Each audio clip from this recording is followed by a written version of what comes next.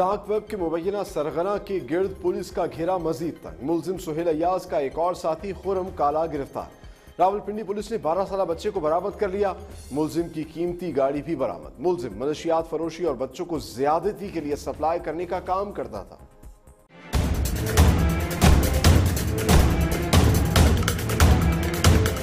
International dark web के सरगना सुहेल अयाज के जुराइम की तहकीकात में अहम पेशरफ। रावलपिंडी में थाना रवात पुलिस ने सुहेल अयाज के हाथों अगवा होने वाले 12 साल बच्चे अदील खान को बरामद कर लिया, जो अंडे बेचकर रोजी कमाता था। पुलिस ने मुलजिम सुहेल अयाज की कीमती गाड़ी भी बरामद कर ली है। पीटीओ फैसल राना ने बताया की सुहेल अयाज ने बच्चे को अगवा किया। आइस पिलाकर बदफेली की और इसे दो माह तक अपने पास रखा। फिर इसे अपने साथी खुरम काला के पास भेज दिया, जिसने मगवी अदील ऐसी ज़्यादा ज्यादती की। बच्चा कामयाबी से हमने आज रिकवर कर लिया है और ये एक शख्स है जिसके पास से ये रिकवर हुआ है और ये भी इसका हमारा ही मुलजिम है। इसी दौरान हमने गाड़ी भी जो है वो रिकवर की है नीले रंग की जो अक्सर बच्चों ने हमें बताया था कि नीले रंग की गाड़ी जो है ये सोहेला याद इस्तेमाल किया करता था। सीपीओ के मुताबिक पुलिस ने मुलजिम खुरम उर्फ़ काला को भी गिरफ़्तार कर लिया जिसने दौरान तफ्तीश बताया की सुहेल अयाज बच्चों को ज्यादती के लिए सप्लाई करने का काम करता है जिसके साथ साथ वो चर्च और आइस बेचने का धंधा भी करता है।